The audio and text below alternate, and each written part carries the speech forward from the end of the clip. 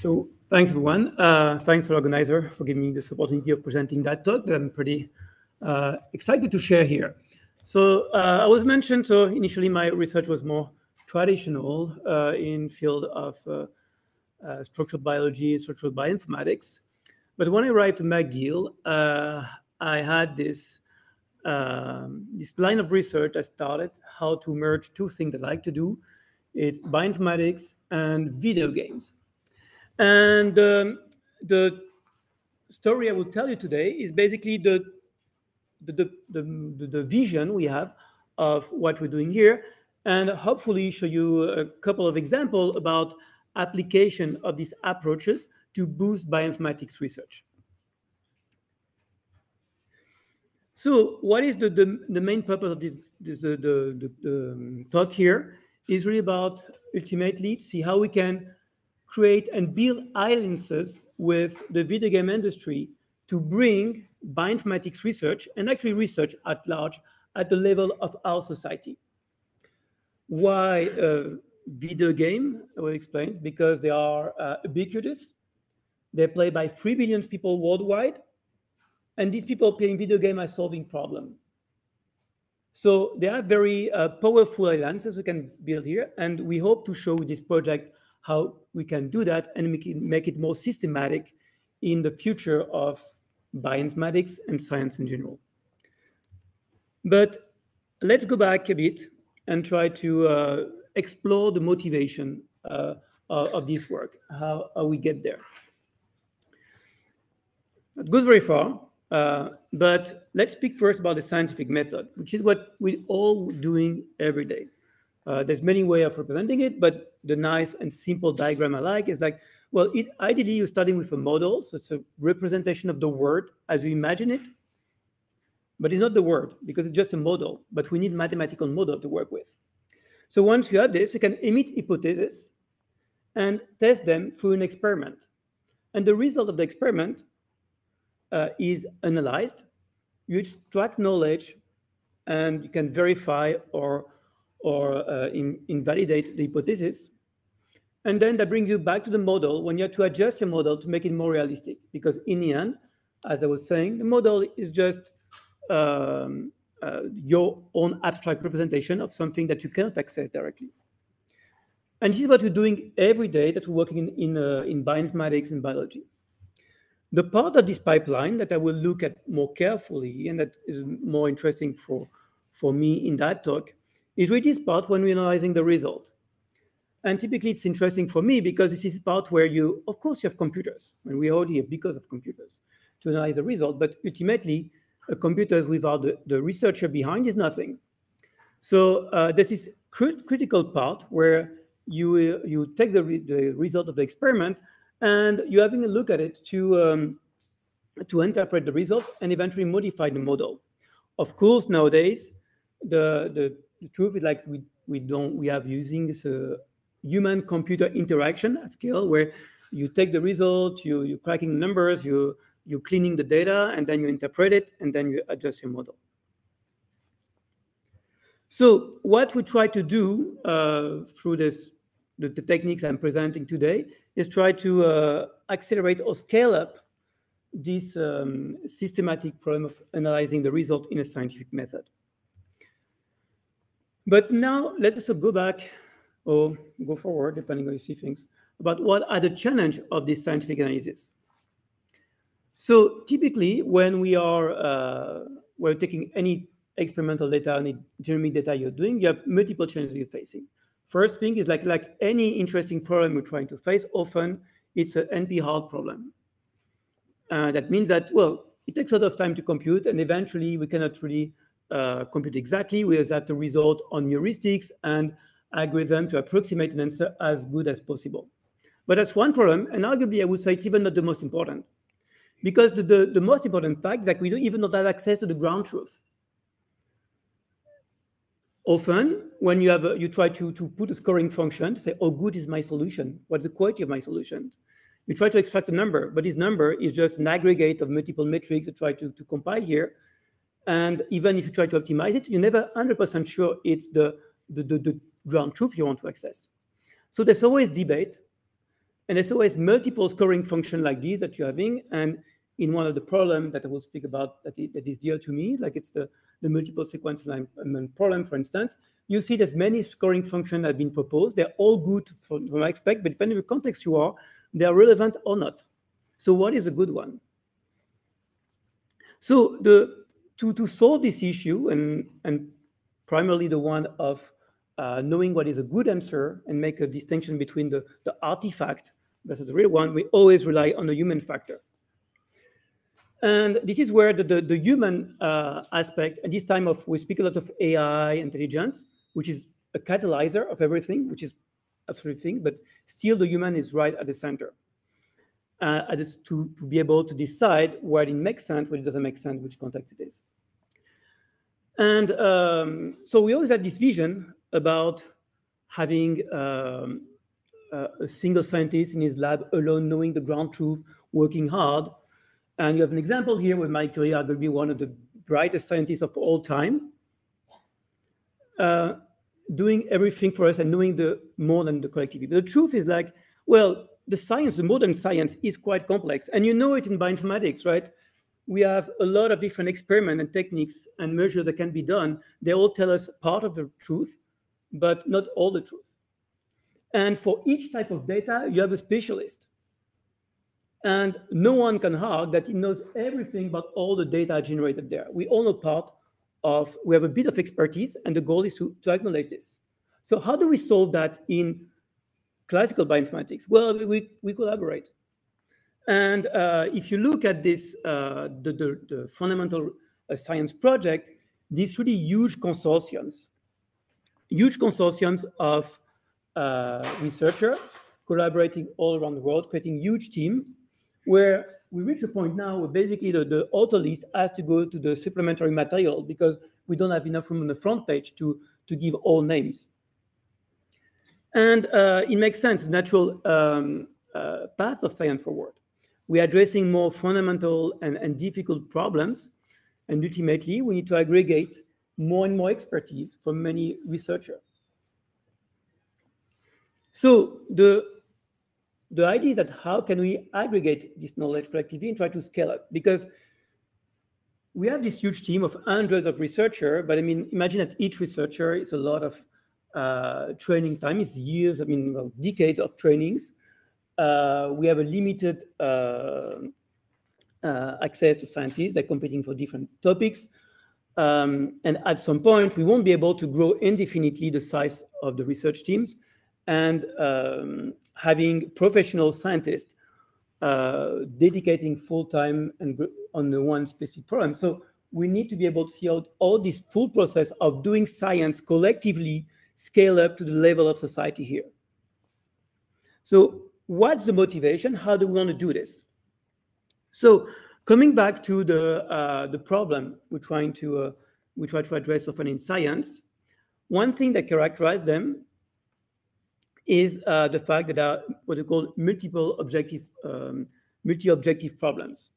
Typically, when we we're trying to uh, well, as I said, make an alignment was mentioning, about analyzing the data, you collecting different metrics, different measures from different aspects of, of your problems.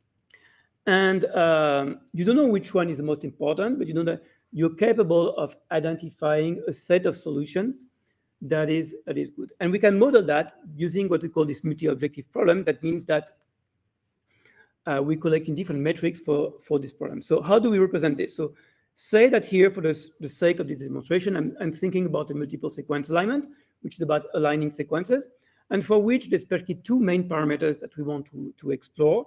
That is the number of uh, matches. So basically, when you try to put things in the same uh, column, column, and number of gaps, which is basically how much hole there is in your alignment. And they're not compatible in a sense that it's like comparing pear to apples. Both are important, but you don't know which which way to give to that. So if you look at the, the, the optimal solution say, for your problem, in the case of multiple sequence alignment, uh, the optimal solution, the, the solution that cannot be compared with that are all optimal belongs to what we call here the Pareto front, which is this border, this frontier, that uh, is a set of all solutions that uh, cannot be dominated, that uh, optimizing parameters. The truth is like this function is that, as I was mentioning earlier in the talk, uh, is only an approximation. That means that it cannot give you the ground truth, but it's give you a good estimate about the quality of your solution. And that means that the true solution should live in a region close from this Pareto front. So this uh, in the Dutch region here. So this define basically the, the region in which the, the, the, the real solution to your problem uh, belongs. So that's what computers do, basically being able to uh, computing this Pareto front and identify this region when the, the, the good solution might live. Once you, uh, you have this, this is where the expert comes in. Then you have the researcher, the scientist, that look at the solution generated by the computer programs and uh, try to identify in this subset of solution which one are the good ones. And how do you agree it's the good ones? By agreement. You never trust one single scientist, right? You have you, you put a couple of scientists together, they look at the data, and they say, okay, this looks right.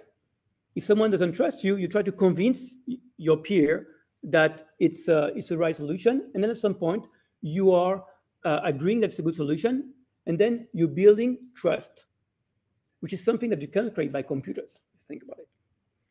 So this agreement between expert, which is the essence of doing science uh, collectively here, is building trust by uh, looking at this data here. So the paradigm we try to leverage uh, through the, the techniques I'm showing today is try, can we scale up this process and, uh, and make it more approachable by the fact that, well, we have a limited number of experts here, scientists. Can we make it, uh, uh, can we scale it? And this is exactly the purpose of citizen science, where the hypothesis we, we rely on is like assuming that you can present the problem in a way that is uh, sufficiently accurate to generate some answers. You can aggregate the solution of many uh, non-expert, they call these citizen scientists, so the non-professional expert, just mean that doesn't mean we're worse, just mean we're not paid for this. Um, to, to approximate the solution that an expert would give to you. And the, the idea here would be that instead of asking expert to agree, you're asking many citizen scientists and an expert to give their opinion, and by some sort of vote, a bit more complicated sometimes, but you, you hope that they will converge toward the solution that uh, will be found by an expert and that ultimately would also generate trust in the result that you're generating. So that's the full concept behind the citizen science here. Try to scale up that by, by believing into the wisdom of the crowd and try to harness that power for science. So what we see here is really this intricate relationship between uh, computers and human, where this whole process wouldn't be possible without computer, also of course, because uh, initially try to um, to uh, to navigate and explore the confirmation landscape of all solution is impossible by an individual, uh, even thousands of individuals. You really need computers to be able to to direct you to the region of interest where the potential good solution lives but then after, you need the human brain here of the, the humans to generate this trust into the result by aggregating and uh, asking them to collaborate. So now that we have a framework to make it work, we need the essential part, which is basically us. Uh, we need to bring everyone here uh, to collaborate to solve this problem. We need to put the science outside the, the academia. I mean, well, I mean, it's good in academia, but basically we are a bit in an ivory tower. We have to bring it back to society so that the full society can embrace science and, and live through it, which actually comes from, right? We were outside, we just, turns out we, we came back to, uh, we concentrate universities, but we have to also go back to where we come from. How do we do this? This is where video games play their part. So imagine now in a world, there's we estimate there's more than 3 billion people playing video games. 3 billion people. That's a huge number. What is even more striking is like when you try to, to realize what playing video games means. Well, of course, it means have fun. They're designed for this. But intrinsically, playing video game is solving a problem because our brain likes to solve problems. Every time you solve a problem, it makes us a bit happy. So we addicted to video game because we are addicted to solve problems. What if we could just use a bit of the attention and the time, the energy, and the smartness of people here playing video games to solve some scientific problems? So this is basically the purpose of all the work I'm showing to you here. Now let's go back to bioinformatics and how this idea was implemented. So in 2010, uh, when I arrived at McGill, um, I uh, I was sitting here with uh, with Mathieu Blanchette just here. Uh, we have all offices were close to each other, and uh, I came to Mathieu saying, "Okay, I mean, get some ideas here about." How we can turn some uh, fundamental problem in uh, in uh, bioinformatics to a, to a game to try to engage people helping us solving it. Uh, it has to be uh, an important problems. So uh, on which problem can we work? And Mathieu turns out to be a, a specialist of multiple sequence alignment. I think it's a good fit, a good fit. And then we start to think about how we can do that. We're very lucky at this time that we had two undergrad that volunteer for the for the for the summer to play to implement a prototype version of this game. It was really just like a summer project initially, and they implement an interface of uh, the game Phylo. So what is Phylo? It's really a, a game that aims to crowdsource uh, these through games this multiple sequence alignment problem. Its idea is relatively simple. Initially, I was uh, mentioning like we cannot our goal was to align a mammalian genome at the time. But of course, you know, a genome um, is about 3 billion characters. Um, say we have 100 to align. It's not that easy to, I, I won't ask one people to do this. So uh, first we have to start with a good starting point, I was mentioning in the beginning. So what it is, well, we ask a software like to, to do it for us um, and to pre-align these, these, these uh, genomes. And then the idea after that was like when it's pre-aligned, we'll scan this, this alignment to detect region that potentially could improve. Because, well, on many places, the computer does a, ver- does a very good job. And there's no need to have human uh, intervention here. But there are some of them where there's many gaps, many substitution, substitution, things like this, where it's potentially imperfect and you might benefit of small corrections. We may be able to, uh, to the benefit of a bit of human supervision here. So you scan this alignment to extract this region that potentially uh, could be improved, and you store them in the database. This region that you extracted are the puzzles that will be played in the Phylo interface, which is, uh, at the time, it was a Flash game. I think Flash disappeared since then, so we had a couple of uh, other implementation. Currently, it's, uh, it's in Unity, um, where um, you have some kind of Tetris-like game that represent, well, Tetris-like feelings at this time, would rather say, that represent a bit the, the uh, this fragment of the, the DNA alignment, and we ask the player to uh, to improve this alignment according to uh, different approximated scoring functions. So uh, the player played this alignment, tried to improve it, tried to find better solution than the, the basic one found by the computers.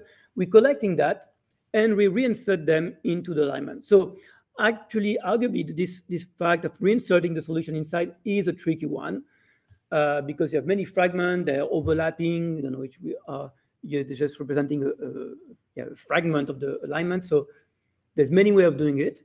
Um, uh, we did it in, in a way that that works. Doesn't mean it's the perfect one or the optimal one, but in the end, we're able to show that uh, that helps to improve the alignment uh, pre-computed initially.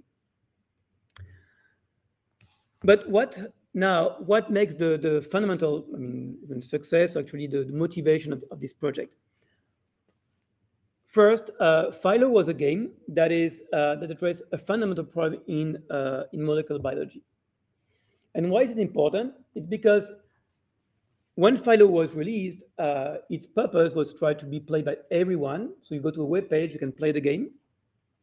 And if you have this ambition of uh, being interesting for many people, well, you have to to uh, to uh, address a problem that will be that will resonate with everyone. That will be important for everyone. So uh, you need to have something that uh, is uh, important for the public, but also for the scientists, because when you collect results at the end, you want to do something useful with.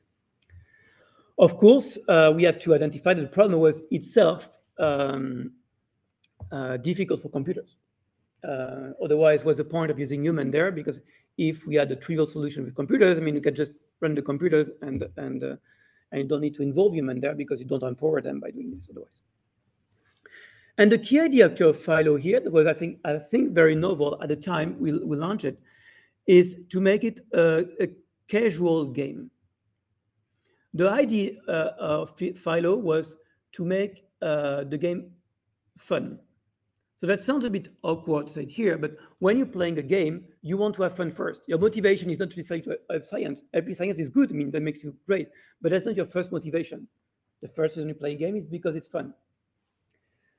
So we did many things to toward that uh, that goal. That was to where we try to have a lot of gamification element, putting colors here and there, simplifying the rules, um, and also one thing here, like we, we had no res registration required. The idea was you go to a web page, you can play the game or play one to game, and you leave it fine. Uh, you don't need to commit to to register and be followed and see the progresses. And of course, this uh, has its own drawback because uh, you have to deal with the noise generated for this approach, but at the same time, you have much more engagement. And it worked well. Uh, so about in about 10 years, we estimate that we have more than half million people that contributed, uh, generated probably around roughly 2 million solutions for different puzzles. And we've been able to have the proof of concept showing that the, the reinsertion of the solution to the alignment was uh, indeed successful. So depending which objective function you try to measure as an algorithm, between 40 and, and, uh, 95% of the, the alignment we try to improve uh, could be improved. Sometimes it was marginal, but sometimes it was a bit more substantial. And this one was really applied to uh, mammalian gene. In particular, we're looking at the promoter region of uh, mammalian genes. So it was successful uh, as a proof of concept. Because the truth is that uh, to be very scalable, applicable for real size problem, it needs more engagement.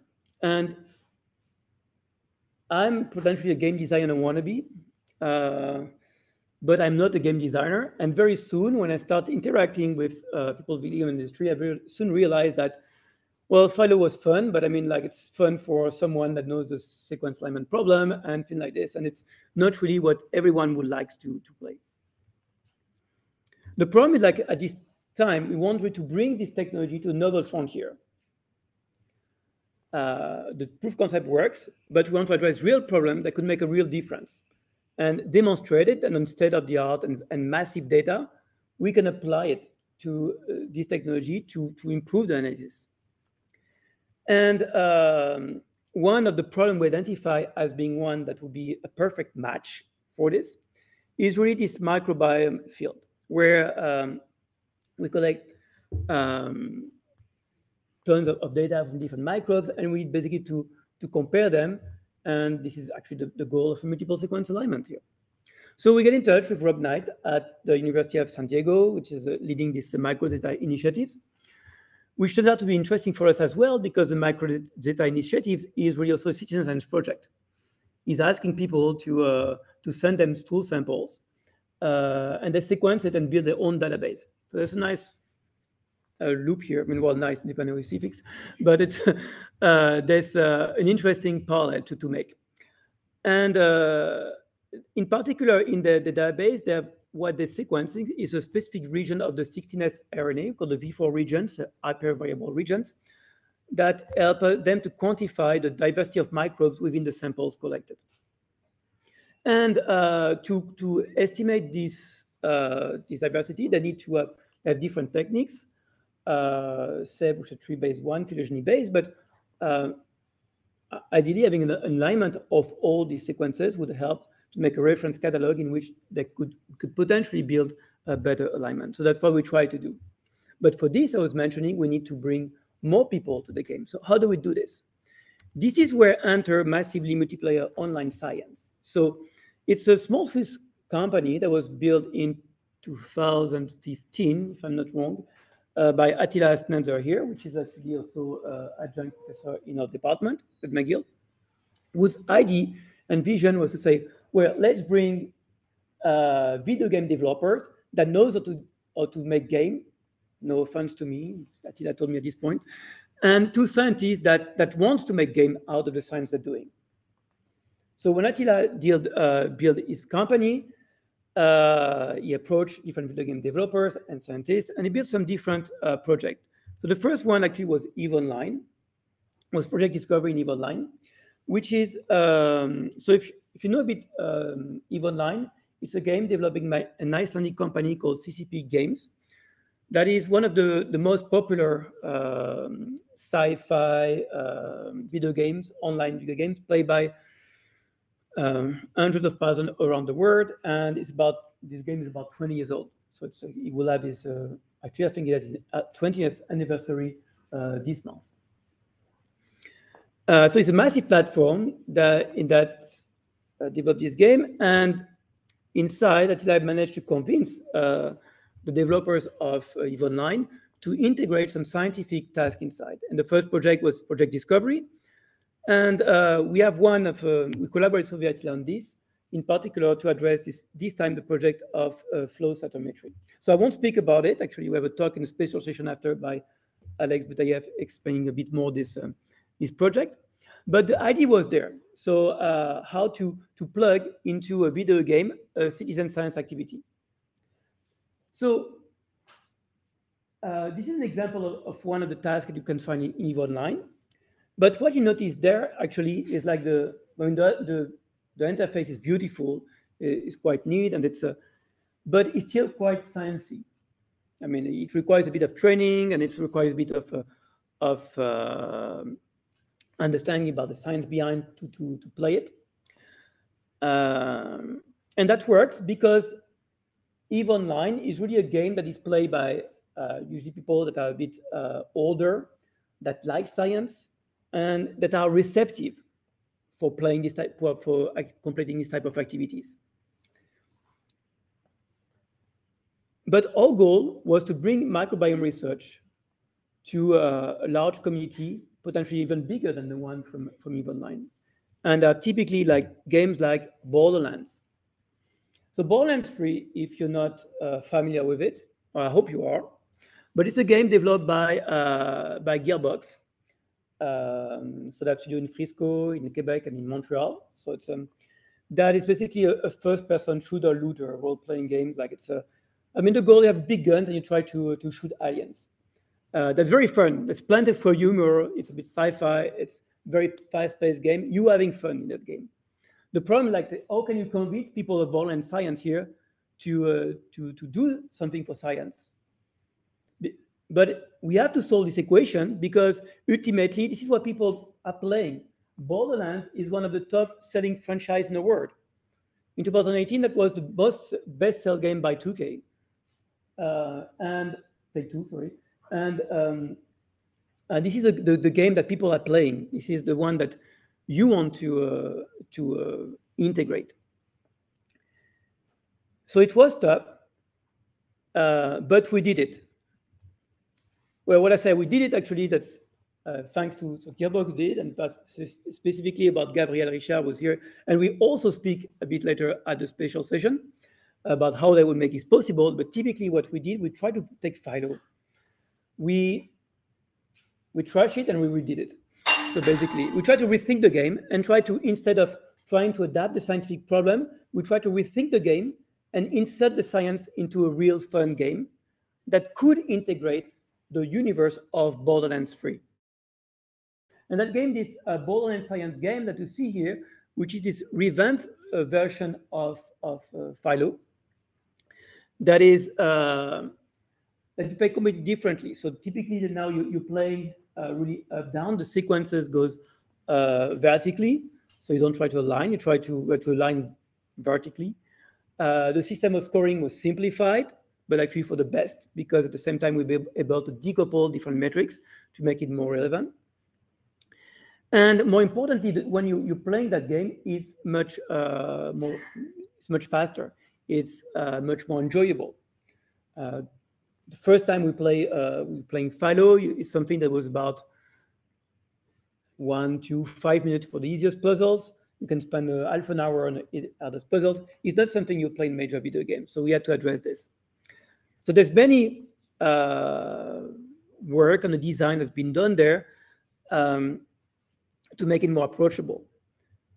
But there was also uh, a lot of work on integration, so how people will be able to, to approach it. And in particular, there was uh, how do you integrate, immerse the universe without disturbing the player? Because one of the most important things in this game is the user experience.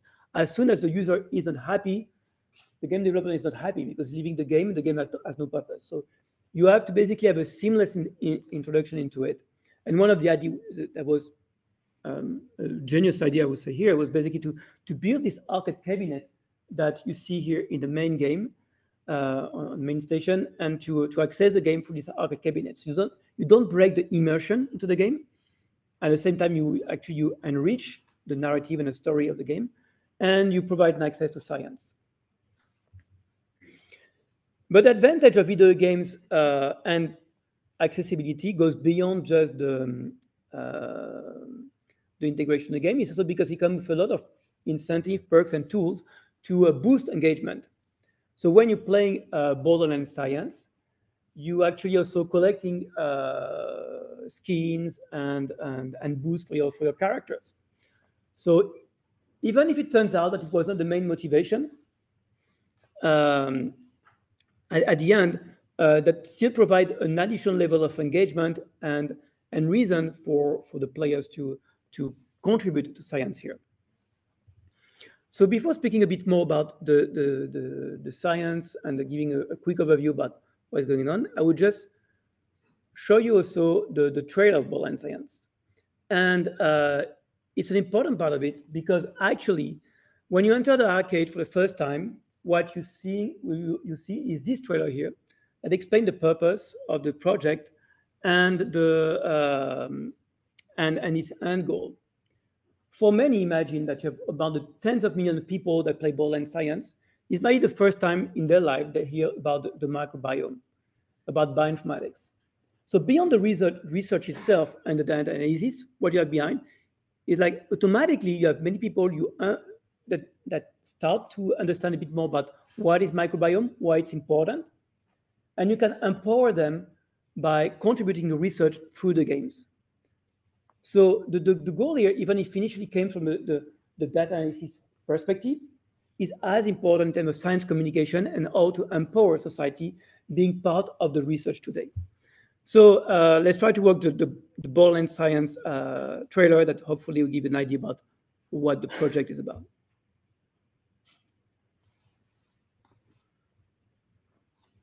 Folks, this is Mayim Bialik, actor, PhD scientist, researcher, and your favorite person. Today, I'm here to talk to you about video games and science and how we can grab both by their necks and make them kiss consensually. Long story short, by playing Borderlands 3, you can contribute to real world scientific research, as in data that helps real people in meat space. Speaking of meat, did you know that more than half the cells in our bodies are alien? Only 43% of our cells are of human origin, belong to foreign microbes. These microbes have a massive impact on our body's health. The more we study microbes, the more we can learn about the accumulation of meat and existential terror that is the human body. These microbes are made up of DNA, just like us. Each microbe has its own special DNA signature, and similar species of microbes have similar DNA. If we could sequence all the different species of microbes found in the human body, which, remember, make up more than half of the cells in our body, we'd learn a ton about ourselves. To that end, the Microsetta Initiative collected tens of thousands of samples of, to use the scientific term, doo doo extracted the DNA of the microbes inside, and sequenced it. Now we just need to organize this data. Unfortunately, though computers excel at certain tasks like crunching numbers or tracking down specific pornography, they're not so good at organizing DNA information. See, different species of microbes have similar but not quite identical DNA. That means mapping their sequences can be kind of ambiguous. The computer makes lots of small mistakes that can corrupt downstream analysis.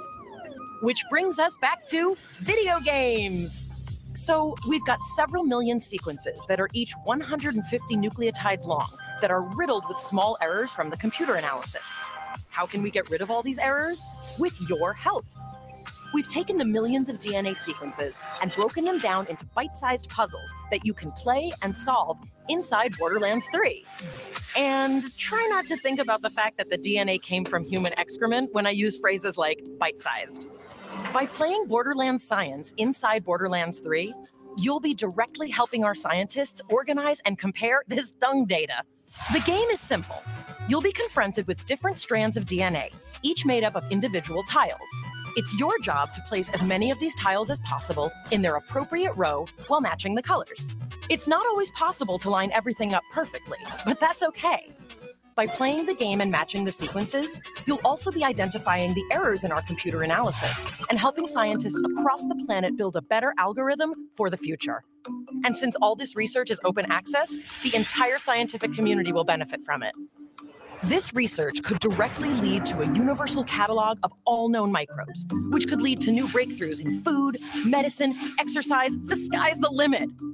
And it all starts with you playing a video game. But if the pursuit of knowledge isn't enough of an encouragement to sort through virtual butt microbes, then fear not. Playing Borderlands Science earns you in game currency you can spend on booster items for your characters. Oh, and this is all totally free. Just activate the Borderlands Science machine on Sanctuary 3 and sort some gut microbes.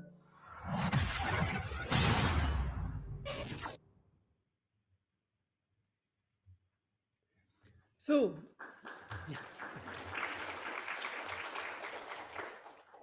yeah, one of the beauty of this uh, trailer actually is like I didn't need to present the project myself. I need to play the video, and uh, they explained much better than I could do in uh, half an hour. So, um, so I was mentioning, so this trailer actually perhaps was even more powerful and potent than the game itself because it was really explaining what we're doing here in bioinformatics. And now imagine that four billion people basically saw this uh, this trailer, more than this, and uh, and basically learn more about what we all doing here. Uh, yeah, so to give you a bit of numbers, I mean, Borderlands was restarted as a work project. Uh, I mean, it was this uh, uh, commando team inside the, the Gearbox, believing in the in the in the project and willing to help us, and the uh, team of my lab trying to work with them to make something happen. Turns out that it was quite successful. At the end, we had more than four million participants. We collected more than 30, 130 million uh, solutions um, and um, in terms of engagement, there's no project that has been uh, having reached this number in a single project. So that was really uh, the first step forward. But actually, it's not just about engagement. To basically amplify this this, re this research, we also need to to create results out of it because you want to engage people, but also show them that the engagement was was not in vain. So, but long story short, I mean, we're still working on that, but we still have, we're, starting to have the first result here. Um, and um, the idea is like the aggregation, collecting this data was not as straightforward, uh, as you can imagine, was as straightforward as, as it is, it should be. We had to, uh, to aggregate the data, build new alignment, and then after to evaluate the quality of the alignment. But the truth is like, uh, we don't have one single number that can tell us the alignment is good. So we have multiple observation metrics that accumulate evidences to, uh, to demonstrate that alignment we're creating was uh, at least as good as the state of the art. And uh, I, I, won't speak too much about this result here, but again, that we think that uh, uh, Roman will be able to present also in a, in, um, in a special session above. We had the latest result of Borderlands Science, but what we're able to show was that we have a better agreement with non-phylogeny. We had a better uh, agreement with structural model, and uh, uh, competition of effect size on the on different samples. So there was the aggregation, making result out of it, but also the next frontier. And it's a work that is conducted here by uh, uh, Renata. That is, how can we take this puzzle here and try to extract new rules, extract new strategies, extract new techniques to, to, to build alignment. And um, these are part of the research program so we, we, we're pursuing is taking all these uh, different puzzles, try to identify if humans are doing things differently than uh, different selected uh, bots and uh, algorithm. So the idea was to look at different puzzles, try different basic tech strategies, uh, more advanced techniques, compare how they behave, and see they behave differently, and then after try to, to develop some behavioral cloning technique to try to see if we can learn from the players better method to aligning it. So we had this first uh, work uh, that uh, Renata just presented at CHI uh, last month, uh, basically showing that, well, we can capture this, there's a signal we can capture. And uh, of course, we're continuing this, try to see if we can use it to build new automated algorithm for correcting alignment or building automatically better alignment. But again, and that would be really to, to conclude a, a bit all the vision I'm pricing here, um, it's not just all about the data, it's also about us and the data. What's even more important here into, into the all the, the project I, I showed to you is that um, it really helps us to, to, uh, to bring science to communities that are usually neglected by the scientific communications. Scientific, uh, usually when you think about scientific communication, that's really uh, addressed to people with a natural uh, interest into science, are willing to, to learn this, or potentially uh, potentially have or at least inclined to for the message. If you want to make science a bigger in society, you have to go where people live. You have to go where they are. In our society, we're all moving to this uh, digital world, and video games will be part of it. And I was mentioning, with 3 billion people worldwide, and it's only growing. More importantly, if you look at the, the demographic bias, I mean, usually when you look at the, the people doing citizen science in general, there's uh, it's it's very biased uh, in in a in a gender level of education. Uh, that's uh, it doesn't address, speak to everyone. If you go to the video to the, to video game, basically you're speaking out to everyone. Uh, everyone, to some extent, play video games, and you are able to uh, to to to bring it to everyone, regardless of its level of education, and potentially make people realizing that science is fun, which potentially could, could be also the, the, the best uh, message we can send outside. Why are we all doing science? Because when we're doing it, we're happy. It makes us happy. We find new things. That's the same that you have in video games. And if you can let people think that now, by doing science, they can have the same emotion, then you can bring uh, people more believing in science and uh, and thinking that it's indeed the way to go and it, it's empowering them following this. So ultimately, yes, I, I believe they can uh, reinforce public trust. I mean, contribute to reinforcing public trust and potentially inspire. My my my real dream would be that one day people that play this game uh, will become a scientist and will say it's because I played Borderlands Science when I was kid. So just to conclude here, um, really the message I want to bring here is like it's true. There's a lot of fantastic things happening with AI, and machine learning, intelligence doing here, but science is intrinsically human. When we're doing it, it's we are at the core of science. Uh, AI machine learning is a real catalyzer for what we're doing, and we're using it a lot to, to leverage this data. But ultimately, we never have to forget that human is at the center of science, and bioinformatics here is a good example because we can do uh, we can really benefit of, of uh, both aspects. So I want to thank everyone in this project. I'm pretty sure I forgot uh, some people. If you want to hear more about this project, we have a special session upstairs. Uh, Gabriel Richard was the, the, the, genius, the game, the brain behind uh, Borderlands Science. will explain how we did it. Uh, and uh, Roman was the, the, the workforce before all the, the, the science scientists who presented the latest result. And hopefully you'll be convinced that it works. Thanks, everyone.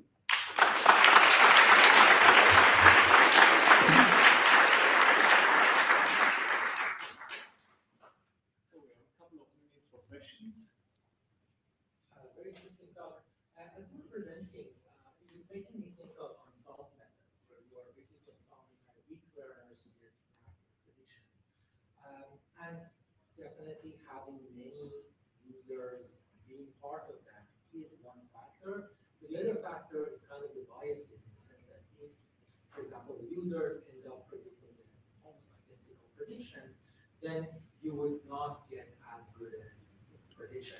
The downside of uh, video games is that if they get popular and the user base goes up, there's going to be a lot of then tutorials and guides on how to best uh, beat it.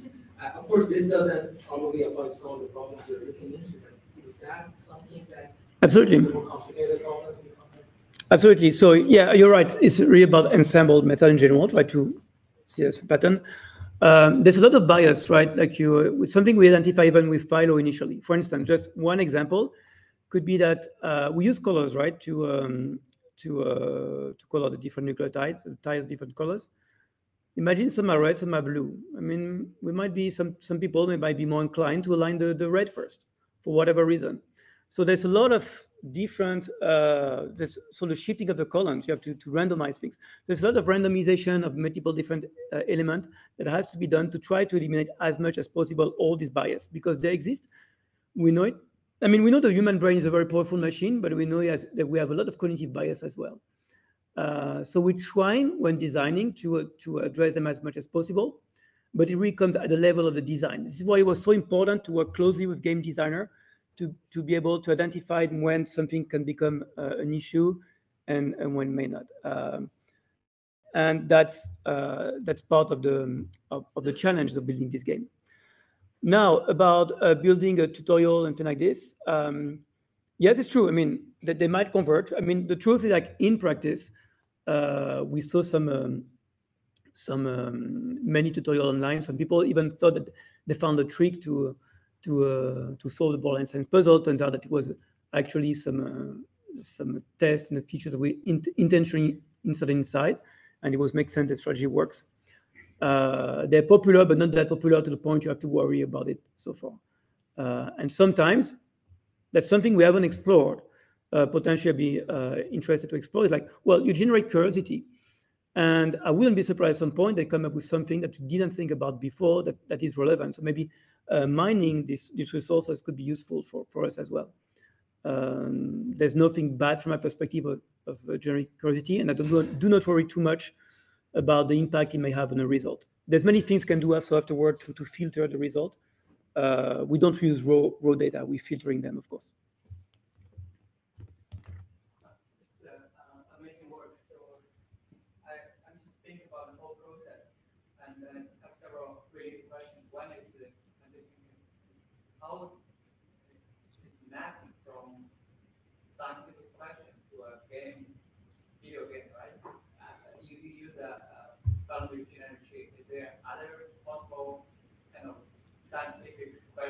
You also want to identify.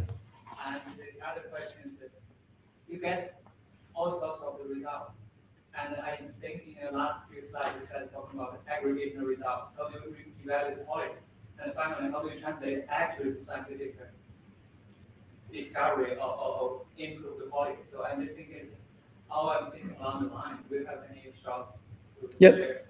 Well, I feel that that's the, the, the and thanks for the question because that's actually exactly the, the type of expertise we try to bring there. I mean, uh, the purpose um, I mean, not all game can make into video games. No, oh, sorry, not all scientific problem can make into video games, or uh, at least there is some different matches that can be done. Um, uh, there are some some game that naturally as a natural fit to some video games, and the, the work of MMOS and Attila was basically together where uh, exploring different type of problems to identify the one that could be a good match for specific video games. So the idea every time is to find a good match between a problem that has a potential to be uh, gamified to create a nice game and the host game that would be a good uh, host for this activity. So there's a lot of um, try, we're making it, we're exploring a lot of differentiation and try to identify the best one.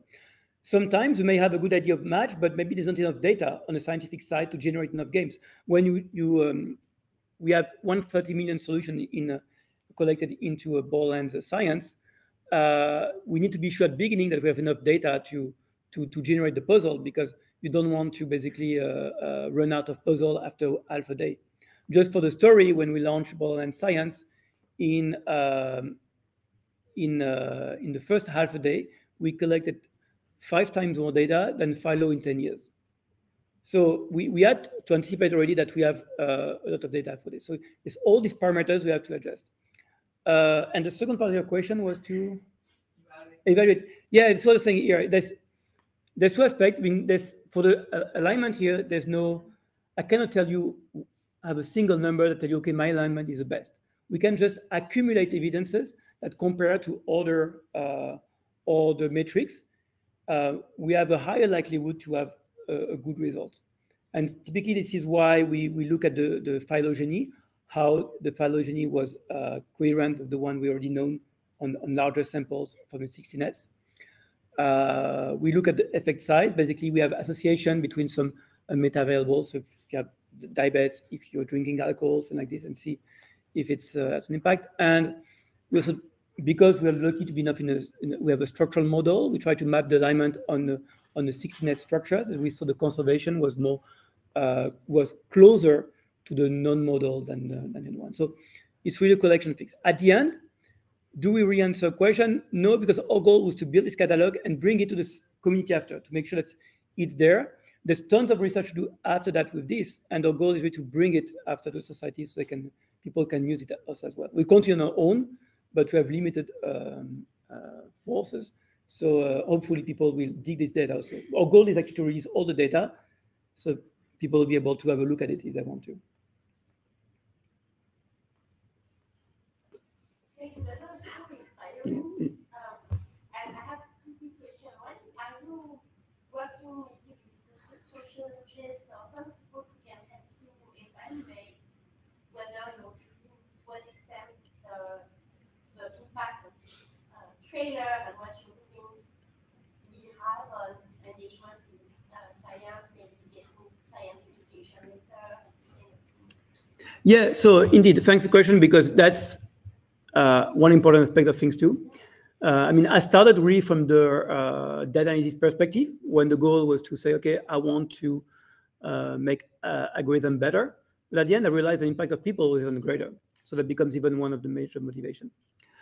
Um, we haven't worked yet with sociology. That's definitely one direction we want to go uh, by building connection. But first, we had to demonstrate that that it works, and that the goal is to to pull out all the results we have there to, to, to show people that he has potential and so you'll be adopted and then start to revisit this data. Indeed, I think there's many things that can be done in terms of uh, uh, understanding, having a, a, survey, understanding what the impact of the trailer, because I think the trailer itself should be studied. By so how it impact people, the, the understanding of public, the, the, understanding about what microbiome and willingness to uh, to, uh, to, to listen the science discourse.